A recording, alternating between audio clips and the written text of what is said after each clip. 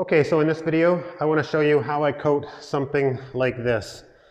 So what happened, I didn't do this, the boarders did it, is this is a bevel joint and this is a half a bevel joint and half a butt joint. The reason why this happened was the boarders, instead of using 54 inch board, they used 48 inch board, so they had to put what's called a belly band. So I'm actually just gonna show you how I coat this with hand tools. So I use an 11 inch curved trowel and, and a 14 inch curved trowel. So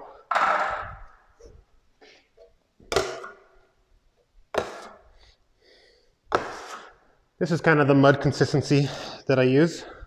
It's fairly thick, but just thin enough that it'll spread nice. So I lay it on like that. And I like to use trowels, um, or is it trowels?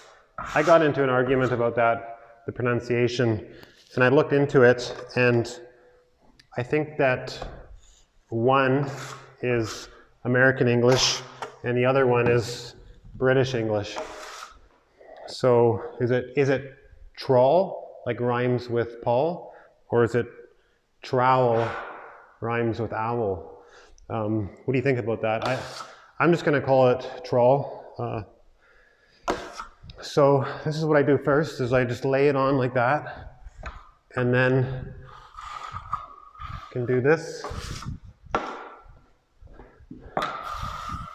Take off one edge, take off the other edge. It is a few extra steps, but doing that leaves very nice, very nice finish. Okay, so this is the one that's half a butt joint, half a bevel. So I'm going to use 14 inch curved trowel. I think that the trowels are faster than using a knife, at least for me. Okay, so here's how I do around a plug. Is I go like that, and then like that.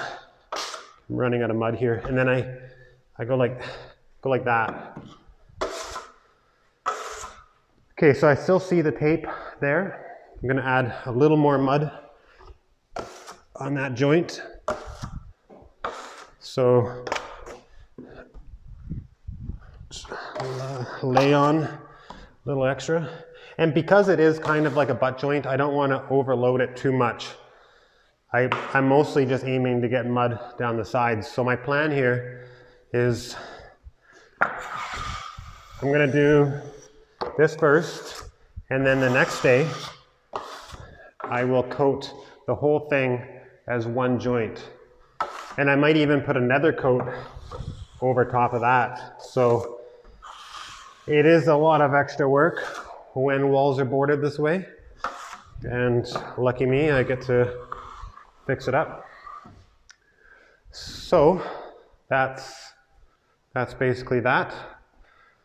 Uh, again, so the next day after this is dry, I'm going to, with a flat trowel, I'm going to coat it from about there all the way to there, merge them together. And that's that.